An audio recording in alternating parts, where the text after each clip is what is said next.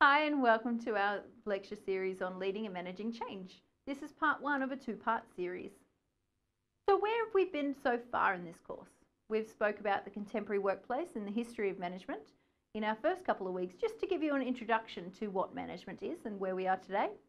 We then moved on to our functions of management. Now our functions of management were planning, organising, controlling and leading, and they are the things that underpin everything we do as managers. We then moved on to our management and its context, where we've talked about environment diversity, international dimensions, motivation, ethical behaviour, and leading and managing change is the one that we're finalising today. All through this trimester, we have actually given you some learning icons, which I'm really hopeful that has engaged you through this process in identifying what's a key definition versus what's a theory. These are just put back up here for your reference. So, let's talk about change. Charles Darwin once said, It is not the strongest of the species that survive, nor the most intelligent, but the ones that are most responsive to change. And that's never been truer.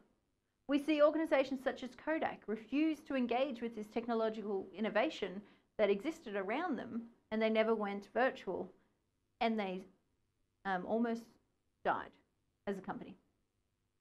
Then we see organisations such as Facebook really embrace this technology innovation and they've been highly successful in their market.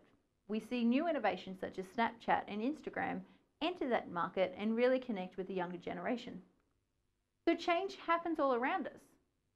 But as managers, what do we need to know about it? So in this series, we're going to start talking about change and how it applies to you as a future manager. In this particular part of the two-part series, we're going to talk about the forces for change and what we mean by change leadership. So what are the forces of change? Well, organisational change happens quite rapidly. We can have planned change or we can have unplanned change. But what is, non, uh, what is common to all types of change is that complacency is the barrier to organisational change, right? So the rate of change is only expected to accelerate with new internet technologies and economic pressures to increase revenue and cut costs. However, not everyone is willing to accept and embrace change, and that's where complacency comes in place. So we need to, as managers, understand what the forces and the targets for change are. So forces for change could be the global economy, market competition, local economic conditions, government laws and regulations, technological developments, market trends, and social forces. So we tend to see all of this stuff happening outside of our organisation, which we have no control of. But they impact us greatly. So, for example, the global economy, what happens in the US actually impacts us here because it slows down some of our imports or exports. Market competition, if we're now competing in a global market, then we need to address some of our global competition. And that's important. When government change its laws, we need to respond. Now, sometimes they're just small changes, sometimes they're large. And there's a process for that, but it certainly addresses and hits us um, in an organisation. So in a planned change, which is one in which we expect, what we tend to see is that there's a target for change and that target may be a task, people, culture, technology, or structure. And it really depends on what's happening to what the target is. So let's talk about planned and unplanned change. Planned change is a direct response to an organization's or person's perception of a performance gap. Now, a performance gap is simply put as where I want to be versus where I am, and there's that gap in the middle. Okay? So my discrepancy between my desired where I want to be and where my actual state of affairs are. So there's that big gap. Now, if I want to achieve that, I can put in place a planned change approach. However, if that gap is told to me by outsiders, and for example, say I went to accreditation and I, I failed my accreditation because this, this, this, or this may have been wrong, then I need to engage in an unplanned change exist, uh, process. So that means that um, it occurs spontaneously and it doesn't benefit any of the change agents. Okay, so it might have a strike, a plant closure, an interpersonal conflict, something's going to happen, um, but I can't predict what's going to happen.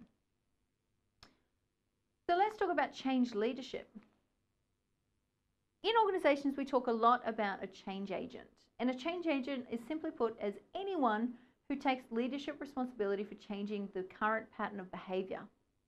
All right? So it's basically someone who says, Yes, I love this change.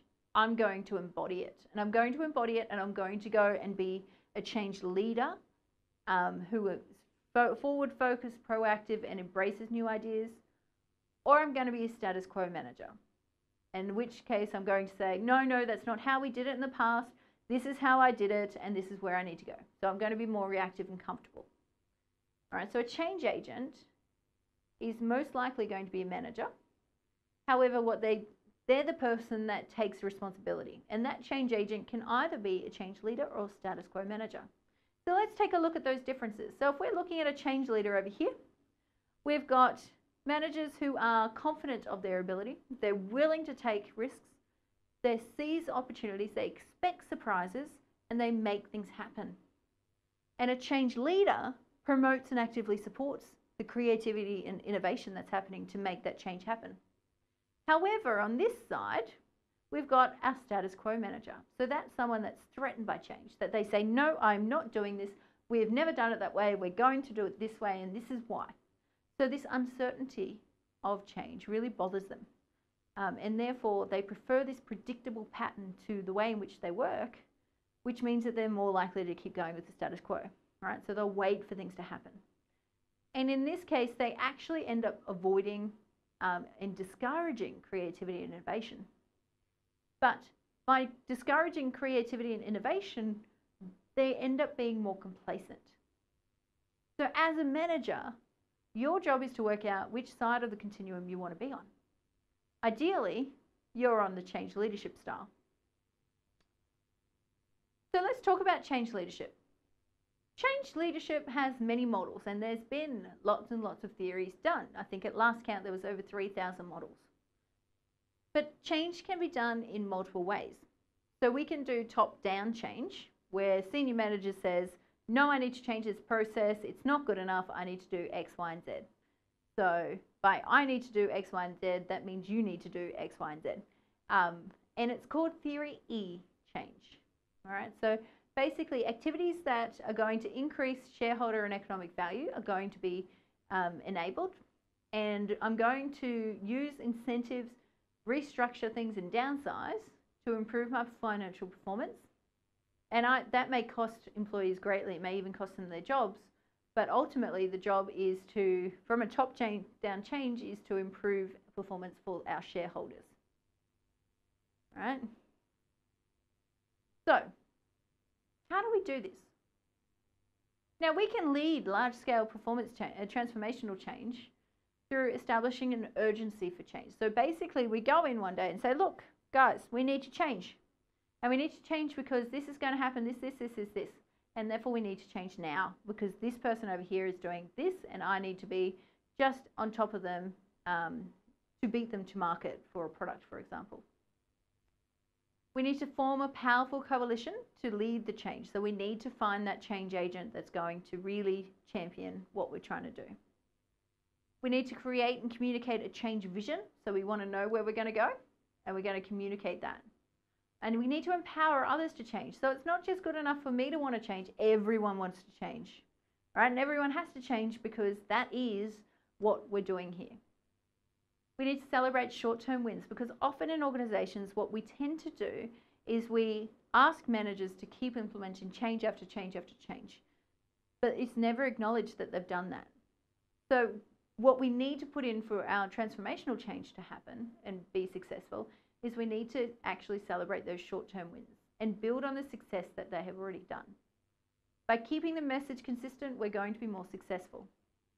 So that's top down change. And transformational change tends to only come from top down. Other change initiatives come from bottom up, and they're called Theory O.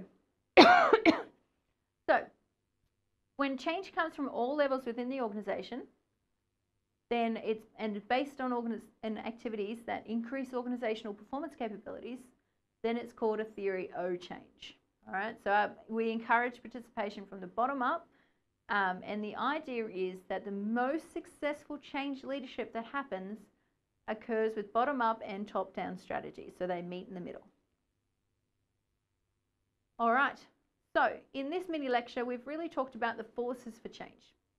We know that we work in a global um, environment, and we know that what happens overseas impacts us. So we understand that the forces of change include the global economy, market competition, local economic competition, government laws, technological developments, market trends, and social forces.